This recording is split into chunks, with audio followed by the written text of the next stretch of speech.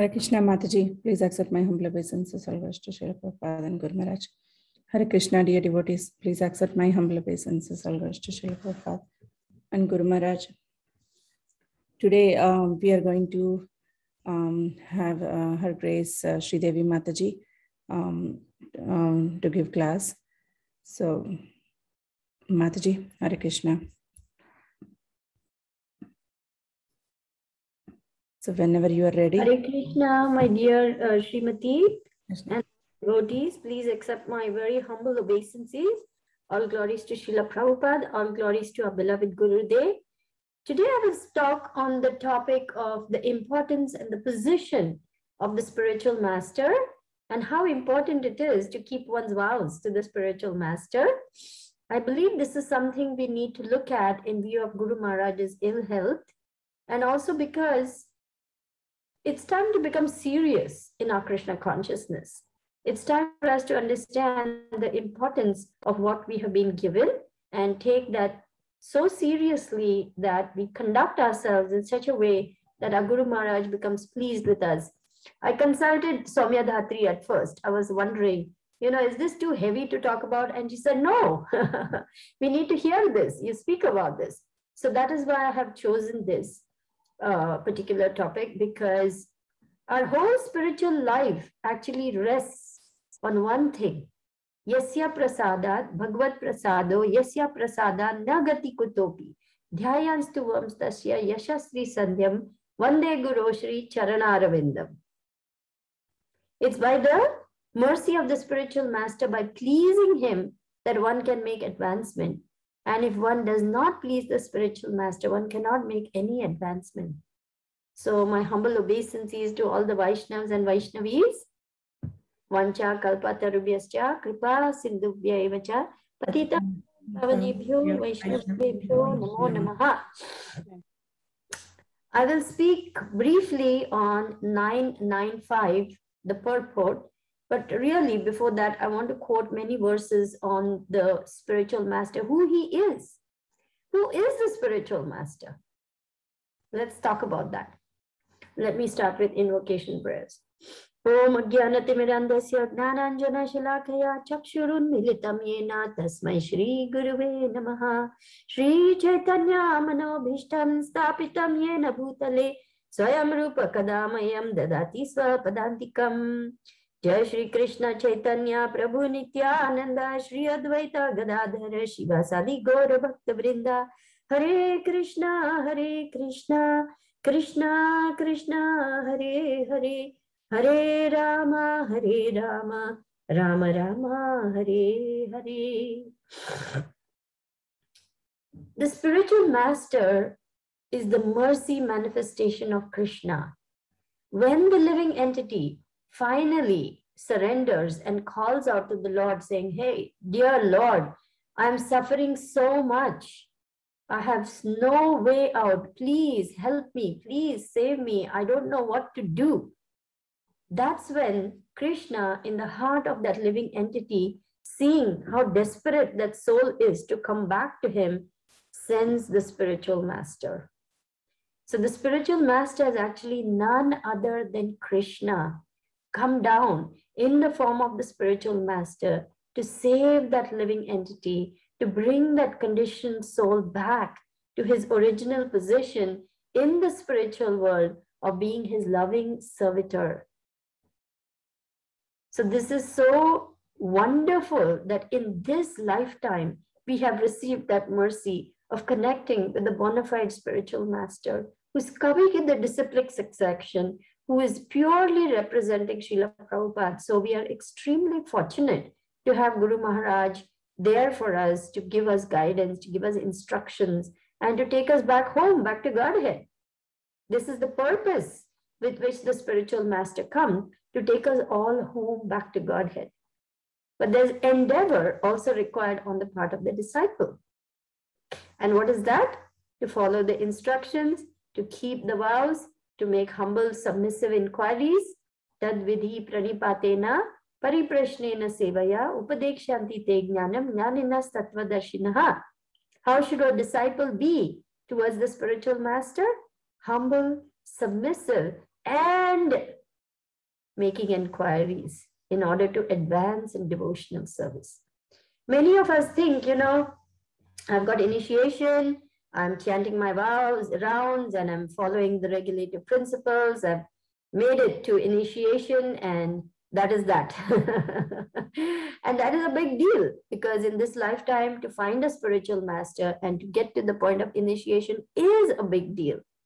But that's just bhajana kriya. That is step three. we have a long way to go to Krishna prem, right? Sadhu Sangha, Adau Shraddha, Bhajana Kriya. Bhajana Kriya is just step three. We have to go through Anartha Nivriti to become Nishtha, and then Ruchi, then Asakti, then Bhava, and then Prema. Now, how is that going to happen if we just sit back and say, oh, I've got my, you know, new name, I've got my spiritual name, I'm doing my thing, and that is that. no, one has to approach the spiritual master and get further guidance, especially Anartha is a difficult time because our anarthas keep knocking us back. And we can only overcome those anarthas by the mercy of the spiritual master, by making inquiries from him, humbly submitting to those instructions and working hard to overcome those anarthas.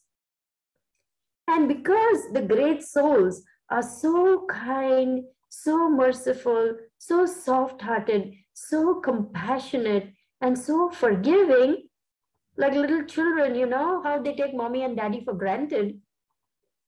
We also sometimes forget who the spiritual master really is, and we take him for granted. So today, I want to look at these beautiful verses of the Gurvashtakam prayers in honor of the spiritual master, just to remind ourselves about who really is the spiritual master. Really, he is actually a denizen of the spiritual world, serving Radha and Krishna. He has come down to save us, to help us.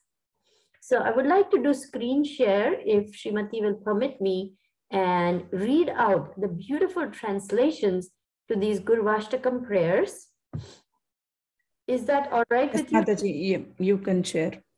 I made okay. it first. Okay, so let me do screen share and take you to the verses, beautiful eight verses, Gurvashtakam, which are chanted in the early morning hours of Mangalarti. We first chant prayers to the spiritual master in the temple. Then we chant prayers to Lord Nrsingadev. After that, we chant prayers to Tulsi Maharani. So you see, the importance of the spiritual master is that he is the one who will deliver us to Krishna. We cannot approach Krishna directly. We know that. So who is the spiritual master and what is he doing? Have we wondered about this? Have we pondered about this? Do we know about this? Have we read the translations to these beautiful verses? I think many of us would benefit, especially me, by looking through these verses again because sometimes we tend to forget. And I think this would be especially because our spiritual master is ill and we want to do our best to be the best disciples we can be. I thought it's important for us to look at the position of the spiritual master, the importance of the spiritual master, and the importance of honoring the spiritual master by keeping our vows. So the first verse translation goes like this. Srimati, would you like to read the translation? Um, which one, Mataji? First one? First one. Yeah. Um, the spiritual master is receiving benediction from the ocean of mercy. Just as a cloud pours water on a forest fire to extinguish, extinguish it, so the spiritual master delivers the materially afflicted world by extinguishing, extinguishing the blazing fire of material existence. I offer my respectful obeisances onto the lotus feet of such a spiritual master who is an ocean of auspicious qualities. You see, immediately, as soon as we take shelter of the spiritual master, the blazing fire of conditioned life is extinguished by the spiritual master pouring rains of mercy on us. He stops us from roasting in the fire of material existence by his mercy and puts us on the path back to Krishna. This is such the this is just such a great mercy that we receive simply by taking shelter of the bona fide Guru. This is his power. He is empowered by the Lord to save the conditioned soul, to rescue the conditioned soul. And he pours his mercy just as a rain cloud pours water and extinguishes a forest fire. Can you read the second verse also for us, my dear? Yes, Mataji. Chanting the holy name, dancing in ecstasy, singing and playing musical instruments, the spiritual master is always gladdened by the uh, Sankirtana moment of Lord Chaitanya Mahaprabhu. Because he is relishing the mellows of pure devotion within his mind, sometimes his hair stands on end, he feels quivering in his body, and tears flow from his eyes like waves. I offer my respectful obeisances onto the lotus feet of such a spiritual master. So the spiritual master is completely, completely amalgamated with the mission of the Supreme Lord, especially the empowered, uh, the, the incarnation who has come in this present day and age, Lord Chaitanya Mahaprabhu, and he is engladdened by the Sankirtan movement. He is so happy chanting the holy name, dancing in ecstasy, singing and playing musical instruments that he may feel so much ecstasy. He may feel quivering, tears may flow from his eyes. Sometimes his hair stands on end. This is because of his purity that he feels so much ecstasy by engaging in the Sankirtan movement. And we offer our respectful obeisances to such a spiritual master. Now, all of us know how our Guru Maharaj dances in Kirtan. It is completely transcendental. It is not of this world. So we know for sure that Guru Maharaj is such a wonderful, pure, empowered, in, not incarnate, representative of the Supreme Lord who has come down to teach us how to love Krishna, to teach us how to purify ourselves, to teach us how to engage in the process of devotional service and go back home, back to Krishna. What a matchless gift we have been given, dear brothers and sisters, simply because Krishna has benedicted us with a pure representative of the parampara for which we have no hesitation in following because he's so purely representing God himself, Lord Chaitanya Mahaprabhu. So I would ask uh, Sri Chaitanya, Sri Krishna Chaitanya Prabhu to read 3 and 4. Yes, Mataji, Hare Krishna. The spiritual master is always engaged in the temple worship of Sri Sri Radha and Krishna. He also engages his disciples in such worship. They dress the deities in beautiful clothes and ornaments, clean their temple, and perform other similar worship of the Lord. I offer my respectful obeisances onto the lotus feet of such a spiritual master. So you see, the spiritual master is constantly trying to help the disciple. He's guiding the disciple, he's engaging the disciples, and he's teaching us how to perform nice worship of Sri Sri Radha and Krishna. And he teaches by his own example, by his knowledge, how to do it perfectly, how to do it in an exemplary manner, and how to purify ourselves by the process of deity worship because he is expert in it. Why? Because he's a pure representative and he's engaged already in the spiritual world by personally serving Radha and Krishna, as we shall see in the subsequent verses. Thank you. Would you read number four also? Yes, Mataji. The spiritual master is always offering Krishna four kinds of delicious food, analyzed as that which is licked, chewed, drunk, and sucked. When the spiritual master sees that the devotees are satisfied by eating Bhagavat Prasada, he is satisfied. I offer my respectful obeisances onto the lotus feet of such a spiritual master. This is absolutely self explanatory that the spiritual master is teaching us how to offer and himself is offering all kinds of delicious food to Lord Krishna. And the spiritual master becomes extremely satisfied by eating Bhagavad Prasad. And he is extremely satisfied when he sees the devotees are distributing prasad and honoring prasad. He becomes very happy because he knows this is the way of purification of all the souls who are rotting in this material world without Krishna's prem, Krishna's love. And this is one way to experience Krishna's love because what is prasadam? It is Krishna himself, his mercy in the form of prasadam. Thank you. And now I want someone to volunteer for five and six and another person for seven and eight. Any brave souls? I can do that. Okay, great. Please do. The sixth one, right? Five and six. Okay, five and six. The spiritual master is always eager to hear and chant about the unlimited conjugal pastimes of Radhika and Madhava and their qualities, names, and forms. The spiritual master aspires to relish these at every moment. I offer my respectful obeisances unto the lotus feet of such spiritual master. So you see how eager the spiritual master is to talk about the pastimes of the Lord, to relish the pastimes of the Lord, and to give this taste for relishing the pastimes of the Lord by his own example. I remember one particular gathering, uh, Guru Maharaj had gone whole day, you know, program after program after program after program, and then it was night and somebody was asking, you know, some more pastimes, and Guru Maharaj was sitting down with them, and they went on talking about Radha and Krishna because Guru Maharaj got more and more enlivened, more and more enlivened past midnight. so the spiritual master is not of this world. He doesn't have, you know, like us, you know, oh, it's nine o'clock, I have to go to bed now, 10 o'clock, I have to eat now. Not like that once he wants to, once he tastes the beautiful pastimes of Radha and Krishna, he wishes to share that, and there's no limitation.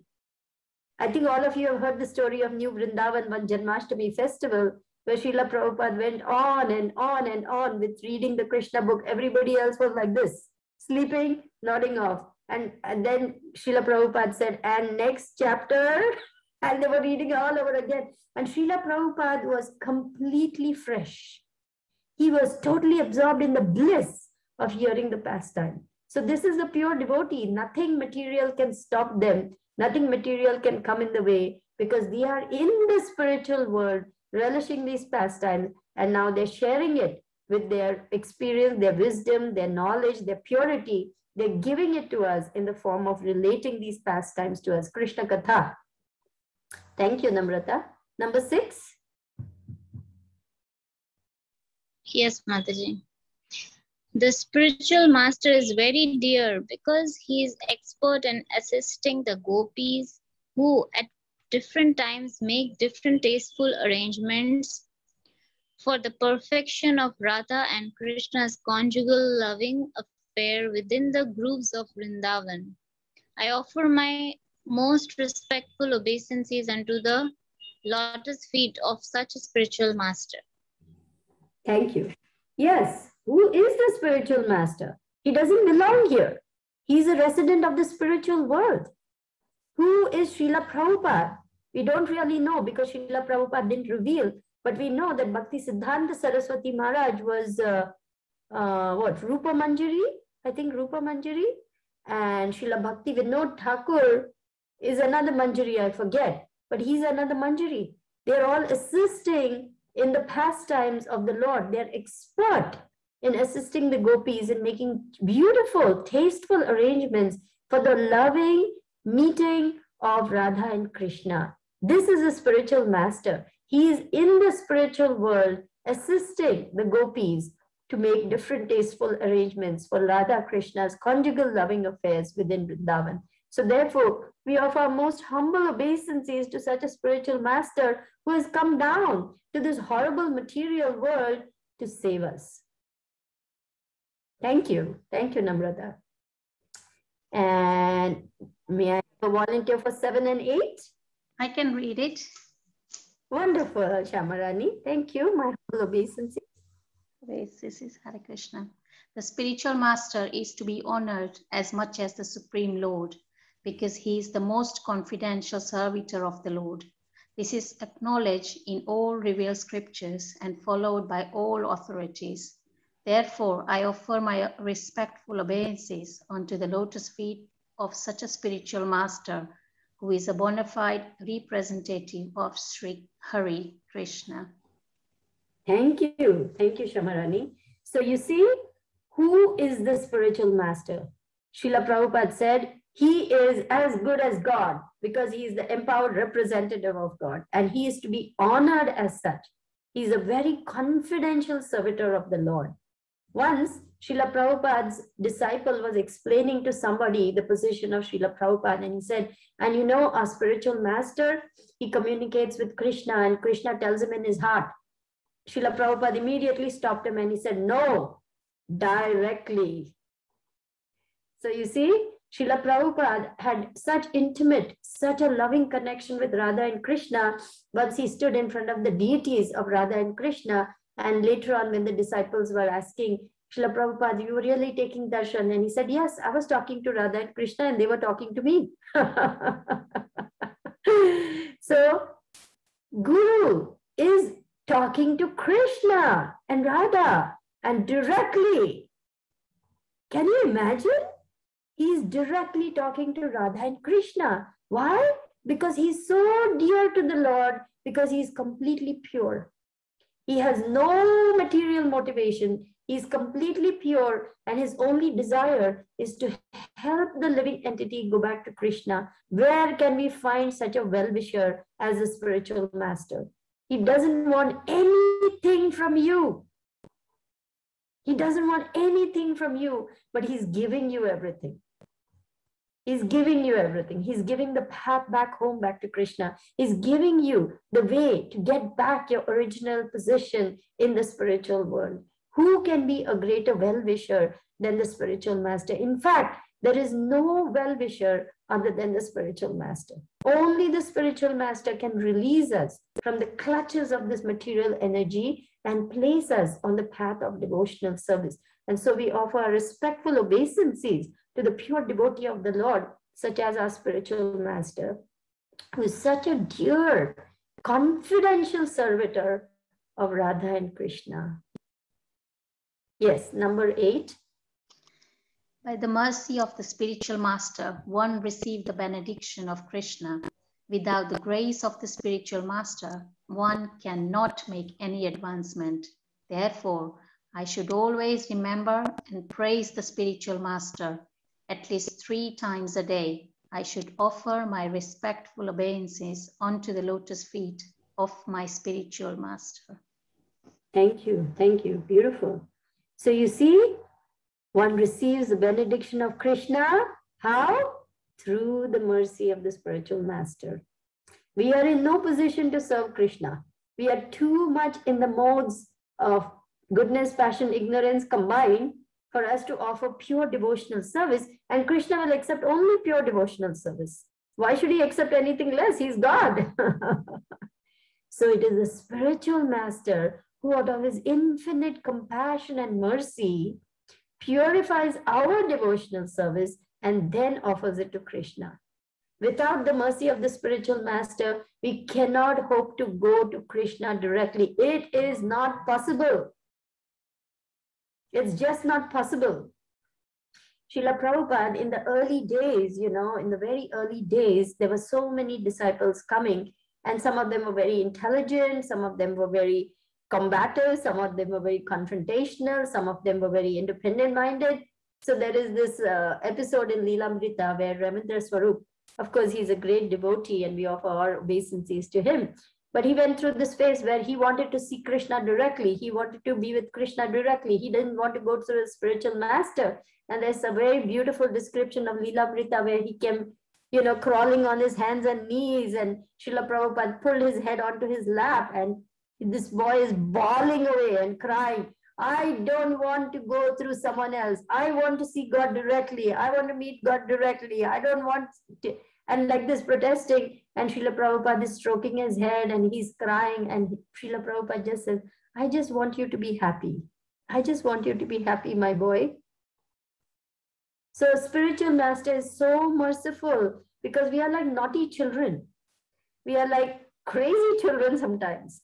We are like rebellious children sometimes. And we are certainly not very intelligent or very understanding or very mature in our Krishna consciousness. And we are argumentative and rebellious and even sometimes disrespectful and confrontational and combative and so on and so forth. And the spiritual master, in his infinite mercy and tolerance of us as little kids, he overlooks all these things because he says, okay, they're like children, they don't understand. But when we try even just a little bit to offer some sincere service, the spiritual master becomes so pleased and then gives us further instructions how to perfect our devotional service, how to correct ourselves, how to engage in bhakti, how to be with other Vaishnavas, how respectful, how humble we should be. All these things are taught by the spiritual master to who? An obedient disciple. So it takes time for us to become obedient because we are so filled with the qualities of Kali Yuga that we are not even good disciple, at least speaking of myself, you know, I needed to go through so much purification before I could even listen to what Guru Maharaj had to say, forget about obeying.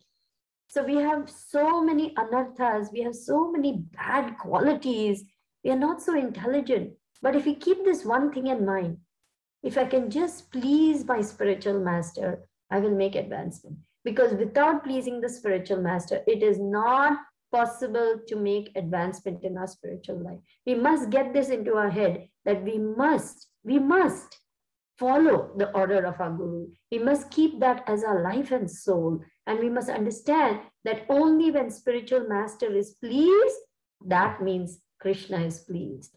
So we want to strive for this position where we actually are trying to make inquiries. We're trying to understand from our Guru Maharaj, how can I please you, Guru Maharaj? What can I do to please you? What can I do to please Krishna? What can I do to please the Vaishnavas? How can I do my service? What service should I do in the first place? Because sometimes we don't even know in what way we are supposed to serve. We have our own ideas and our own pet peeves and likes and dislikes and so many things. But the whole point is surrendering to the order of the spiritual master will help us to make advancement in our devotional life. So my hope and prayer in presenting to you these beautiful verses of the Gurvashtakam is for us to actually remember who our spiritual master is, to understand his position, and to offer our life, our heart, our words, our intelligence, our wealth, our resources, our everything in service to him. Because when he is pleased, that means Krishna is pleased. When he is pleased, then he will grant us mercy and we can make a little advancement on the path of bhakti. So I will now move to the second part of my presentation. I hope everyone could see all the words and could see the screen share clearly. Yes, Mataji. Okay, very good. So I'm going to stop this and I'm going to move to screen share where we are going to talk about another very important topic. And I'm, why am I speaking this? It's something that we need to talk about. And I think that it's a pause for reflection and for us to look within to see what we can do better to serve our spiritual master. And this is sinful reactions on the part of the uh, sinful actions on the part of the disciple that the spiritual master has to suffer for. Of course, in reality, actually, the spiritual master is completely on the spiritual plane. So he doesn't really suffer, suffer because Krishna neutralizes the reaction. But still, he does undergo suffering because this, the disciples are not acting correctly. This is a fact. Uh, I mean, His Holiness Jayapataka Maharaj, after he suffered that horrible stroke and all the consequences, he implored his disciples to please follow because he said, I'm suffering so much because of so many sinful actions on the part of my disciples. So the merciful spiritual master, who's so kind-hearted, so compassionate, so soft-hearted, that he takes on our sinful reactions at the time of initiation, should not suffer anymore on our account. So we want to be very, very cautious because now we have taken our initiation and we must keep our vows so that our spiritual master doesn't suffer. So I'm going to read out this uh, particular, this was, uh, this is actually from Perfect Questions, Perfect Answers, Bob Cohen, who actually later on became Brahmatirtha Prabhu, who was asking a lot of questions and Srila Prabhupada was answering. So this is Srila Prabhupada. we should be very much cautious. For my sinful actions, my spiritual master will suffer. So I'll not commit even a pinch of sinful activities. That is the duty of the disciple. After initiation, all sinful reaction is finished. Now, if he again commits sinful activities, spiritual master Krishna. has, Hare Krishna Mataji. oh, you cannot see, huh? Sorry to interrupt Mataji. We are seeing something like a stand up to domestic abuse, Mataji. We are not seeing what you are reading. Yeah, I was about to Oh. tell. I think your uh, uh, computer has frozen or something. Um, Oh, Sorry to I'm so interrupt, Sorry. Yeah, uh, we just were uh, on a Vaishnavi Sangha where single Vaishnavis who have suffered domestic abuse were sharing something. So I Uh, sorry, apologize. Mataji. Uh, sorry to, yeah, No, now we thank can. Now Okay, thank you. Okay, thank you very much for telling me. Srila Prabhupada, we should be very much cautious. For my sinful actions, my spiritual master will suffer. So I will not commit even a pinch of sinful activities. That is the duty of the disciple.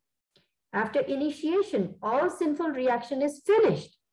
Now, if he again commits sinful activities, his spiritual master has to suffer.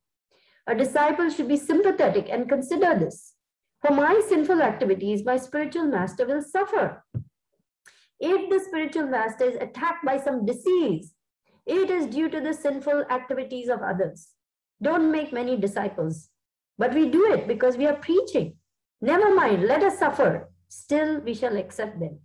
Therefore, your question was when I suffer, is it due to my past misdeed? Was it not the question? That is my misdeed, that I accepted some disciples who are nonsense. That is my misdeed. This happens on occasion, Srila Prabhupada. Yes, this is sure to happen because we are accepting so many men. It is the duty of the disciples to be cautious. My spiritual master has saved me. I should not put him again into suffering. When the spiritual master is in suffering, Krishna saves him. Krishna thinks, oh, he has taken so much responsibility for delivering a fallen person. So Krishna is there. Kaunteya prati janihi na me bhakta pranashati. O son of Kunti, declare it boldly that my devotee ne- never perishes. Because the spiritual master takes the risk on account of Krishna. So your suffering is not the same kind of pain. No, it is not due to karma. The pain is there sometimes so that disciples may know. Due to our sinful activities, our spiritual master is suffering. You look very well now. I'm always well in the sense that even if there's suffering, I know Krishna will protect me. But this suffering is not due to my sinful activities. So Srila Prabhupada is clearly establishing the standard for each and every disciple that after initiation, all my sinful actions have been taken away by my Guru Maharaj. From now on, let me not make more suffering, more sinful acts, and then suffering for my spiritual master. This is very important for us to understand because the spiritual master is very merciful and we are not very tuned in to what we should do. So sometimes we may make mistakes, and Krishna is very forgiving of those mistakes because accidentally sometimes things may happen, and uh, we may not really want to do it, but sometimes due to bad habits, we fall again into you know those old patterns, and Krishna excuses that. But we should not willingly, knowingly commit sinful activities. So here, I'm going to read out this particular part of the purport of verse 995.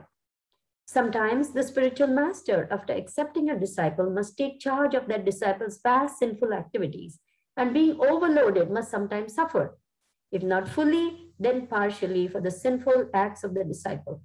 Every disciple, therefore, must be very careful not to commit sinful activities after initiation.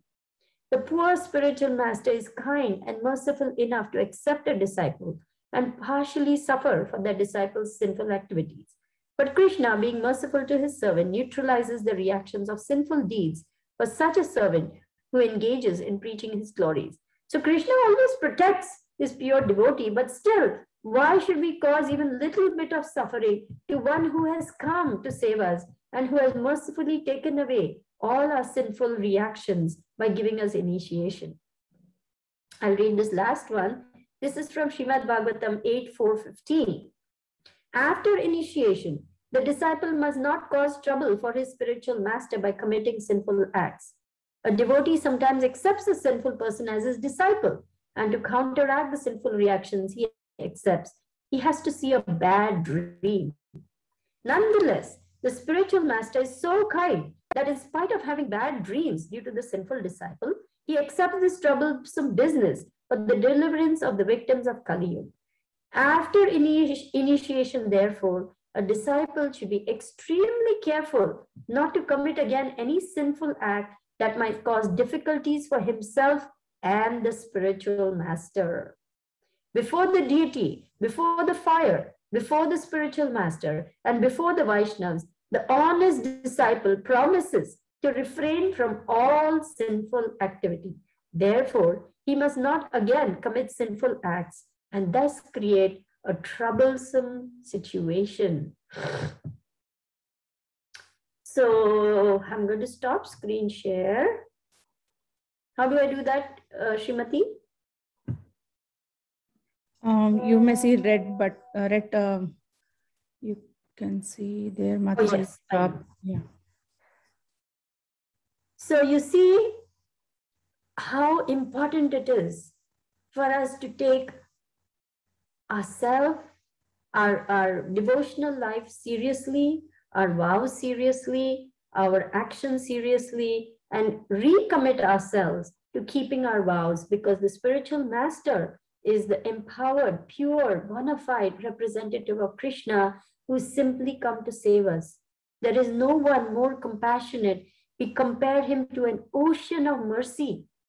In the Guru Vandanam prayers, we say, Alas, alas, O Master, please be merciful us, to us. Give us the shade of your lotus feet.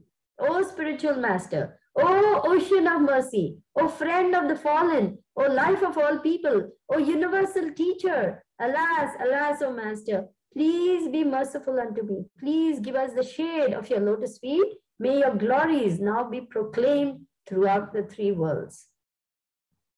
So the spiritual master is someone glorious, someone who is completely above the modes, completely situated in transcendence, and completely capable of delivering the conditioned soul back to Krishna by his mercy. So we want that mercy. We want to progress nicely. So we want to give up our naughty, rebellious, sinful nature, and we want to be situated as good, obedient, submissive, loving, careful, conscientious, diligent, perseverant disciples so that we do not cause more trouble to one who has come to save us. So thank you all for listening so patiently. Uh, my humble obeisances to each and every one of you. And my prayer is that actually this, this class was for me more than anyone else, you know, for me to take my vows seriously.